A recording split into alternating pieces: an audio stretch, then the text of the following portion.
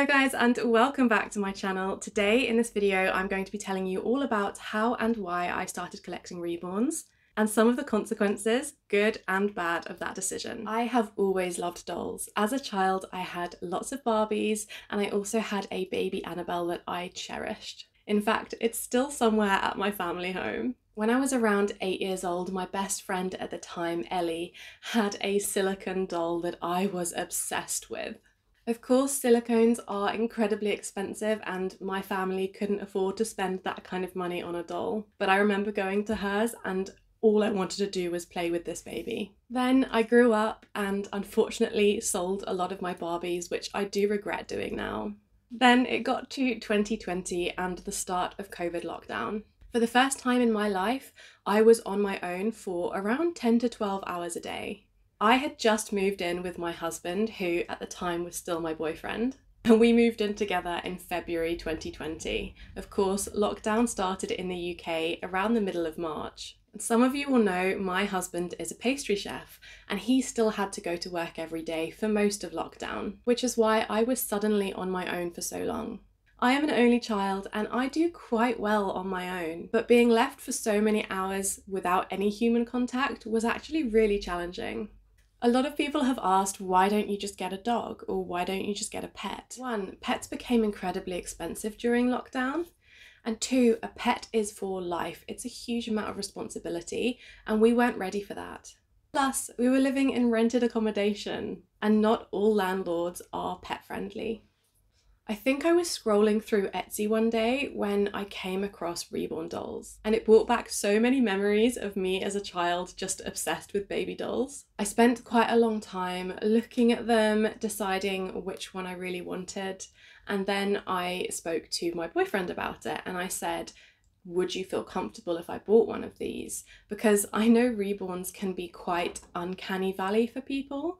So I didn't want to bring something into the home that he would feel very uncomfortable with. But luckily for me, he was incredibly supportive and continues to be supportive. Now, as I said, I got my first one off Etsy. I hadn't done a huge amount of research into like knockoffs and scam reborns at that point, and I'm quite lucky that I didn't get a knockoff but I don't recommend using Etsy because even the artist that I used for my first reborn, she now sells knockoffs, so I wouldn't recommend her. Luckily, the first one that I bought was not a fake, and I will include a picture of it here so you can see her. She was the Rebecca sculpt by Reva Schick. I did get her custom made and this is another issue I had with the artist is that I specifically asked for her to be rooted with dark brown hair because I was born with a full head of dark brown hair. It took around a month for her to be made and I didn't get any progress pictures and then when she was finished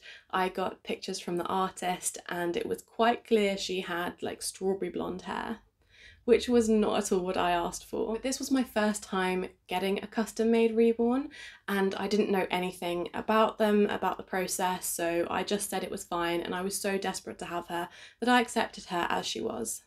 I did really love her, but I didn't, I would say, bond with her. A lot of people in the reborn community do say that they bond with their dolls, and I never understood that until I got some of my other dolls a bit later on. Obviously, with the benefit of hindsight, if this happened again, I would definitely not accept a doll like that that's so different from what I had requested. And this wasn't cheap either. I think I spent about £350 on this doll. But at the time, I didn't know any better and I didn't know how else to buy reborns. Now I have a whole website, which I will link here, which gives so much information about how and where to buy reborns. Anyway, so I bought my first reborn and I did really enjoy having her. I spent a lot of time posing her, changing her clothes, taking photos of her. I even had a few times where I made sure we were wearing almost matching outfits. I didn't really tell my family to start with. I did tell my mum, and she made me promise that I would only buy one. That promise lasted maybe six months, maybe less, maybe more like three months. But in the meantime, I did tell a few of my friends about this, and these were people that I was incredibly close with. And the response I got from some of them was actually really awful. I told two of my closest friends from university, and they essentially thought I was insane. And both of those people I barely speak to now. I was really upset at the time at the reception I was getting from some of my friends. And when I spoke to my boyfriend about it, he kind of said, Well, if these people can't accept you having a reborn, then they're clearly not very open minded, accepting people. And why would we want to have them in our life? And I realized that those are the kind of people that I don't really want in my life. I really like having friends that are open minded and accepting and don't care if you have a weird hobby because you know what? That makes you unique and different. And I had one friend come over. She ended up being the maid of honor at my wedding. And I remember her kind of looking at it and going, you know what? Creeps me out. It's not for me. But if you love it and if you enjoy it, that's great. Like, good for you. So back to 2020, and I have just this one baby. Within a few months, I found loads of reborn Facebook pages that I joined, and I found someone who was creating a little baby boy, and I fell in love with this boy. I will also include a picture. Obviously, I was quite new to the community, and I thought this was one of the most realistic babies I had ever seen so I immediately offered to buy him off her. I was so happy when he arrived. I spent so much time just holding him. And then my husband, who obviously incredibly supportive, he would set up a whole photo shoot for me. So he would put like a background on um, and give me his DSLR camera, and I would spend time just making really fun shots of them. Then the Sam sculpt by Gudrun Legler came out, and I fell in love with this sculpt. I really, really needed one in my life. And a few months later, I came across one on eBay that was an absolute bargain for the artist. And that was this Sam that I still have in my collection today. This is also my husband's favourite doll in my collection. He always says if anything happened to me, this is the only one that he would keep. So by this point, I think I had about three or four dolls, and I was really enjoying engaging in the Facebook groups that I'd found. I spent a lot of time taking photos of the dolls and then posting them on the groups, and the interaction I got from people was so lovely. I actually made quite a few friends that way. As a reminder, at this point, I had not told my family, only my mum knew about my reborn collection. I was loving taking pictures of my reborns, and I was very conscious that I didn't want to flood the reborn Facebook groups that I was in with the pictures of my dolls but I was enjoying the interaction I was getting so much that I was posting on them probably multiple times a day. And then I saw that some people had dedicated Instagrams for their reborns. To start with, I was like, that's going a little far. That's taking this hobby a little far. And then I made one myself purely for my own enjoyment so I could have a place to constantly post all of these pictures that I was taking and that I really wanted to share. I made even more friends through Instagram, and there's a few people that I met that I even then met up with in person, which was so lovely. I got a few hundred followers, I think a few thousand followers on my Instagram, and then I decided to post a TikTok video. I think it was only around six seconds long, and it was a little video of Sam. If I can find it, I will insert it here. And again, this was purely for my own enjoyment as time went by, I kept collecting babies and I kept making videos about it. Again, completely for my own enjoyment. I wasn't trying to gain followers or gain any kind of influence because at this point, again, none of my family knew, so I didn't really want it to go too far. My videos started doing quite well on TikTok, with them regularly reaching over 100,000 views. And then around two months after I started making videos, I had my most viral video. I will show this one here.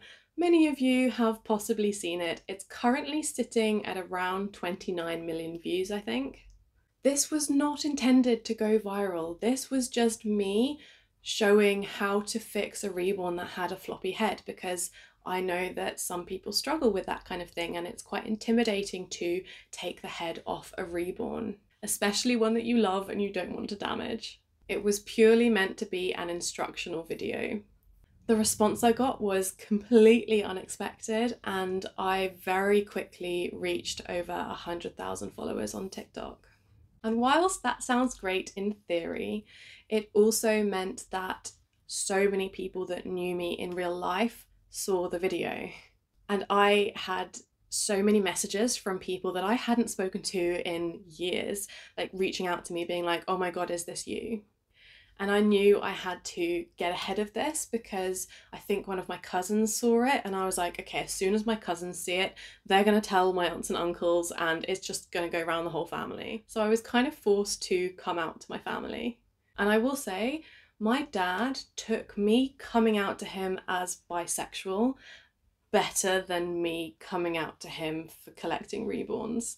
Which is weird to say and to think, um, but he really doesn't like these dolls. He finds them incredibly creepy, uncanny valley vibes. So, for a long time, even after I told my dad, he didn't really acknowledge them. He only started to become more accepting once one, I was monetized on these platforms and actually making some form of income for my doll collection. And two, when I started painting them. My mum, of course, was supportive from the start. She even came to some doll shows with me. And my mum finds the process of making these dolls absolutely fascinating. Before, when I started collecting, she didn't really ask much about them, but when I took her to a doll show, she went round and spoke to pretty much every single artist asking them questions about how they make them. And since I've started making them, every time she sees a new one, she has more questions about how I did it. I will say one of the real positives that has come from me painting these is when I send pictures of them to my dad, he always sends back such lovely messages about how good he thinks they are.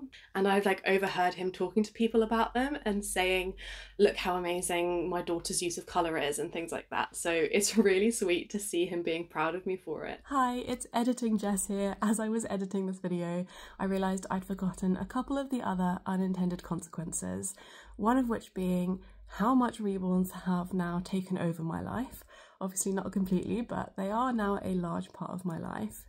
And two, how much they have helped me with my mental health. I have a whole other video dedicated to my anxiety, my stress, and how much reborns have helped with all of that. Okay, back to the video now. So, up to 2023, I just collected these dolls and I had always wanted to try making them myself, but I am not naturally artistic. I love doing arts and crafts. I've always done arts and crafts with my mum growing up. But whilst I'm very good at like copying art, I find it very difficult to come up with something out of my head. And I wasn't sure I would be any good at making these dolls. And in fact, the first one that I made, I think I made a right pig's ear of it. It was not good at all. It was so bad, I barely posted about it and I ended up completely stripping the kit and redoing it. I kind of wish I had finished it and kept it so that I could be able to compare and say, look, this is the first ever one I made versus my most recent doll. But despite it being a complete disaster, in my opinion, I had so much fun making it and I was determined that I could do better. So I tried again and again and again, and I spent a lot of money um, buying quite cheap kits. Most of the ones I got were from Bountiful Baby. If you're looking at starting to paint reborns, Bountiful Baby are great because they are very cheap, but, but, but, but, they are so much harder to paint than more expensive kits. One, the paint does not stick very well, even with primer, especially on the hands and feet. I found it really hard to make the paint stick. And two, they are the palest kits to start with. And this means you need many more layers before you get to a realistic skin tone. Whereas if you start with a more expensive kit, they tend to be a little bit darker and so they look realistic a lot faster. Anyway, back to the present day, and it's only recently that I have been fairly consistently posting on YouTube. I've recently reached 400,000 followers on TikTok, and I think that's amazing. I am mind blown at that, but TikTok followers seem to be a lot easier to come by than YouTube ones. So, all of you watching on YouTube, I am so excited to have you with me. I I'm just mind blown that like 70,000 of you now are following me and are actually interested in reborns and in what I have to say about them. As many of you will know, this is not my full time job, this is just a hobby of mine, and sometimes it can be hard to keep up with it on top of working full time. And I'm also studying for another degree at the same time but all of your comments and engagement keep me just wanting to make more for you. I hope this has been interesting or helpful, and let me know in the comments if there's anything in particular that you want to see me make. One of the videos I'm planning on making soon, but will probably take me a while, is a comparison of dolls. So I was going to do £10 versus a £1,000 dolls but I am going to have to go and purchase some of the dolls at different price ranges to make that work. I really hope you enjoyed this video. If you did, then please give it a thumbs up and consider subscribing if you haven't already, and I will hopefully see you next time.